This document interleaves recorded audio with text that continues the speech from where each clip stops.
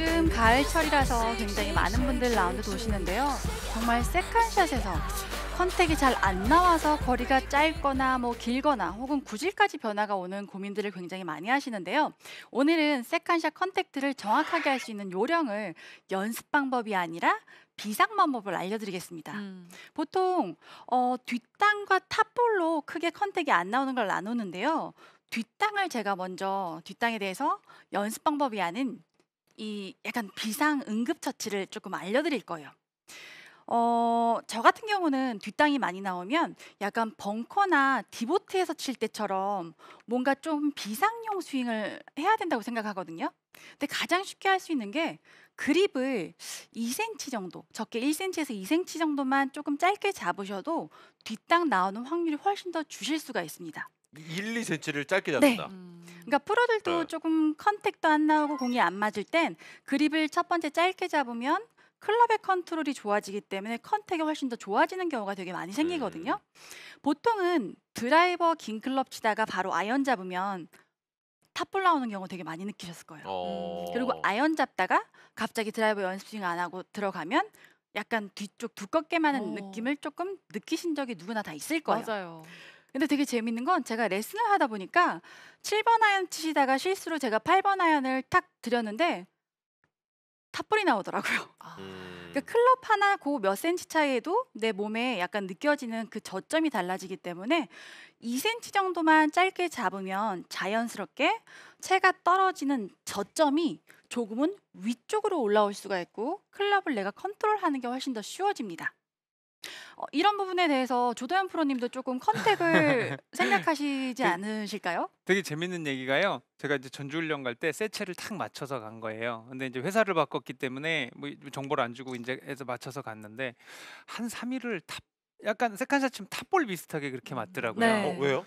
그러니까 저도 몰랐죠. 음. 왜 차- 왜 채가 안 좋은가? 이제- 조도현인데. 네, 아니, 아니, 아니 그건 아닌데 어. 그래서 이제 그랬었는데 먼저 거랑 길이를 재봤더니 반 클럽이 짧은 거예요. 아. 그래서 아, 어. 조도현이가 이렇게 예민한 사람이었나 이거를 새롭게 음. 알았어요. 그러니까 어. 제가 이렇게 예민한 사람이 아니거든요. 예, 아무거나 줘도 치는데 예, 무딘데 그런 경험 맞습니다. 보통 근데 프로들은 사실 뒷땅이 나오면 다음 샷을 아이 조금 얇게 쳐야겠다. 혹은 top ball이 나면 조금 두껍게 쳐야겠다를 컨트롤 하는데 일반 분들은 그런 컨트롤이 솔직히 잘 되지 않는 경우가 더 많으세요. 그럴 바에는 아 내가 샷이 좀 뒷땅성이 나온다면 아예 그립을 1cm에서 2cm를 잡게 되면 짧게 잡으면 뒷땅은 확실하게 줄 수가 있으시니까요. 스윙을 바꾸시기보다는 응급 첩치 방법으로 조금은 그립을 짧게 이렇게 옆에서 보면 여기 뒤쪽이 이 정도 내려 잡는 느낌으로 확실하게 짧게 잡고 치신다면은 컨택이 훨씬 얇게 나오실 수가 있으세요. 아, 그러면은 거리가 줄잖아요. 맞아요. 좀 불안한데요. 의외로 네. 거리가 하나도 안 줄어요. 음, 어. 이 부분은 자신 있게 얘기할 수가 있는 게 조금 짧게 잡고 제대로 치면 공이 조금 강하게 낮게는 나가지만 생각보다 거리가 줄지 않아요. 아. 제가 자꾸 레슨하는데 시끄럽게 네네. 해서 죄송한데 이제 예를 뭔 얘기를 하고 싶으냐면요 그립이라는 걸 좀 짧게 잡으라고 하셨어요. 근데 이 그립의 까만 줄이 있잖아요. 거기 뒤로는 고무예요. 맞아요. 그래서 이 안쪽부터 잡는 것이 진짜 그립을 한 거라고 해요. 근데 아. 거리의 욕심에 이걸 길게 잡다 보니 놀고 난리가 나는 거죠. 예, 네. 아 근데 정말 저도 사실은 저도 모르게 자꾸 그립 끝까지 가서 이거 내려잡는 거 심지어 고무 밴드까지 했었거든요. 어, 네. 그래서 이거를 정말 별거 아니라고 생각하시지 마시고 한번 조금 짧게 시도를 해보시면 아니 이렇게 쉽게 뒷땅을 줄일 수가 있나? 아. 라는 생각을 하실 수도 있을 거예요. 어. 그래서 그립 짧게 딱 시도를 했는데 아 뭔가 그래도 뒷땅이 계속 나온다. 그러면 두 번째 추천하는 방법은 그립을 짧게 잡으시고 hand first 동작을 살짝 해놓으시는 거예요. 의도적으로요. 보통의 프로들은 setup을 하고 손이 약간 더 왼쪽으로 가면서 채끝이 배꼽 왼쪽으로 1cm에서 3cm 정도 넘어가 있어요. 어.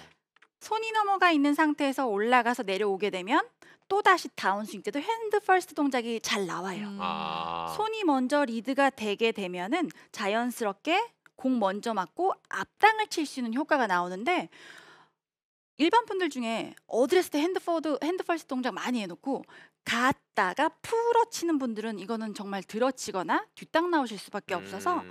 내가 어드레스 때 채가 뒤로 가 있다면 시작 때부터 약간 hand first 동작 조금 해주시고 이미 나는 어드레스 때 hand first를 해놨다. 그러면 올라가서 내려올 때 손이 먼저. 근데 대부분은 헤드가 먼저. 음. 일명 헤드가 먼저 오면 캐스팅 동작이라고 해서 풀리게 되면서 뒤 먼저 쓸어서 올리면서 뒷땅성 top ball도 나오실 수가 있으시니까 그렇죠. 간단하게 제일 좋은 방법은 어드레스, 약간 hand first, 그리고 제가 진짜 많이 하는 건 왼쪽으로 누를 거예요. 어. 이 느낌으로 impact만 나오면 돼요. 근데 이렇게 맞으면 안 돼요. 음. 이 느낌. 이거로 맞으면 손이 뒤에서 풀리는 순간 다 뒤쪽 잔디를 많이 칠 수밖에 없습니다. 그래서 어드레스 때 약간 hand first 동작, 임팩트 때는 이 느낌. 이 느낌이 뭐냐면 손도 2, 3cm 나가지만 체중이 왼쪽에 실려야 돼요. 내가 체중이 왼쪽에 실려야지만 hand first 동작이 자연스럽게 나오는데 체중이 안 실리고 이게 나올 수가 없으세요. 네. 그래서 어드레스 하시고 한두 번 정도는 이렇게 몇 번만 시도를 해주세요. 어드레스 임팩트, 어드레스 임팩트. 제가 지난주에 중계 해설 때문에 대회를 나갔는데 아침에 코스를 둘러보면서 선수들 치는 거를 볼 수 있는 특혜를 가졌어요. 근데 어떤 선수가 시합 중인데도 루틴 중에 한 번, 두 번, 하고 오. 들어가는 거예요. 그러니까 프로 선수들도 다운스윙과 임팩트 때 체중 이동과 hand first, 이 hand first 동작이 안 나오면 내려 맞는 동작이 안 나오기 때문에 contact도 안 나오고 스핀이 생길 수가 없습니다. 음. 그래서 이런 동작은 뒷땅이 아니더라도 힘 실리는 거, contact이 정확하게 나오면서 스핀량도 많이 나고 탄도도 나올 수가 있으니까 어드레스 하고 hand first, setup 때 살짝 hand first 올라가서 내려서 손이 먼저. 절대로 헤드가 먼저가 아니에요.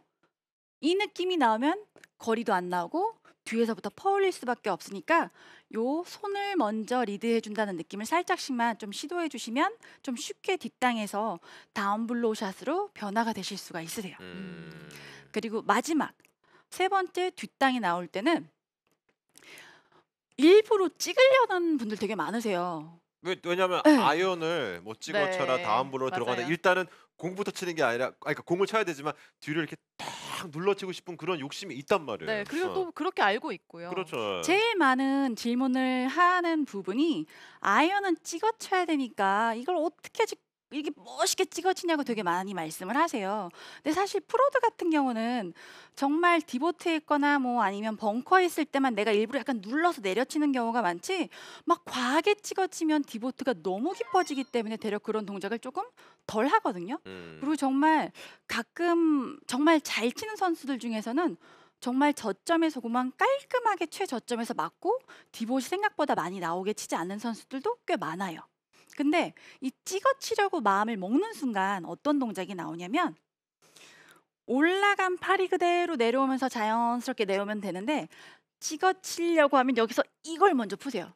아까 hand first 동작이 아니라 헤드가 먼저 내려오게 되면서 자연스럽게 찍기는 찍히는데 뒷땅을 찍으실 수밖에 없으세요. 그래서 올라갔으면 내가 땅을 찍는다는 느낌이 아니라 저점에서 그냥 퉁퉁 편안하게 회전하지만 내려가는 과정에서 맞아서 공 맞고 앞땅 친다는 느낌이 조금 나와야 되고 그 앞쪽에 땅도 잔디 뿌리 남겨놓고 약간 잔디 이파리가 없어질 만큼 치실 거예요. 그래서 내가 일부러 찍는다고 하면 풀리고 덤비고 떨어지고 막 여러 가지 3종 세트 이상의 동작이 나오시니까 조금은 욕심을 살짝 버리시고 찍어 친다기보다는 가볍게 공 맞고 앞쪽 땅을